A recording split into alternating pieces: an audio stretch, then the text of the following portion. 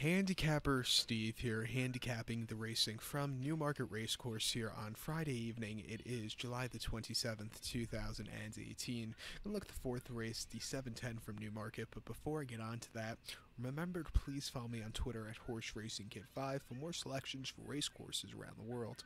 The fourth race, 710, it's the Fly London Southend Airport to Prague Handicap, Class 3 handicap, going for a purse of $20,500. This race is for three-year-olds and upwards rate 71 to 90.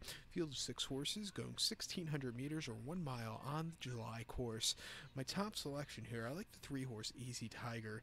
Gonna go 356 in the TriCast of the trifecta. 356 TriCast Trifecta. Top selection three horse Easy Tiger. Liam Keniry is on this um, Michael Saunders trained six year old gelding by Refuse to Bend.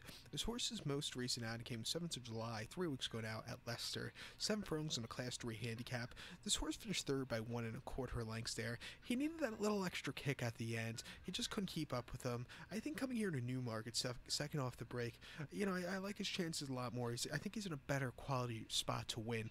Also, the miles should really help.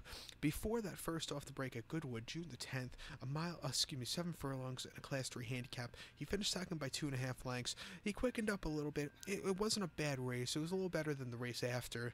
Um, and then before that, a race that he ran absolutely crappy. He came 17th, 17th of February at Lingfield, a mile and a quarter in Class 3 handicap. He finished fifth by 16 lengths under the, under the drive most of the race, and he just never got there. But before that, an apprentice handicap at Lingfield, a mile and a quarter February 2nd, this horse won by three quarters length, quickened up nicely, very easy victory there.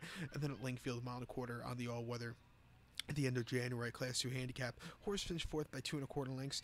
Ran a little bit that day. It wasn't a bad race, but he has had better runs. Getting, like I said, getting the mile here today should really help this horse a lot. And uh, at 5 to 1, I'll take my chances, even with the heavyweight. So to recap my selections for the fourth from Newmarket, the 710, gonna go with the three horse Easy Tiger.